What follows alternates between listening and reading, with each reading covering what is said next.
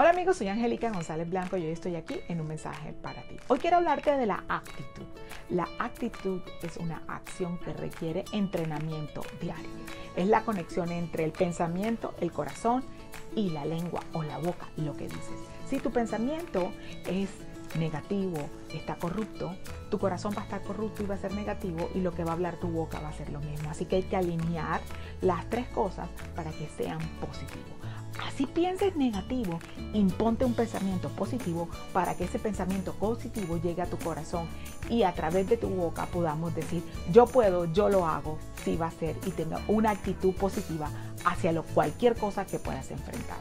Que tengas una semana excelente.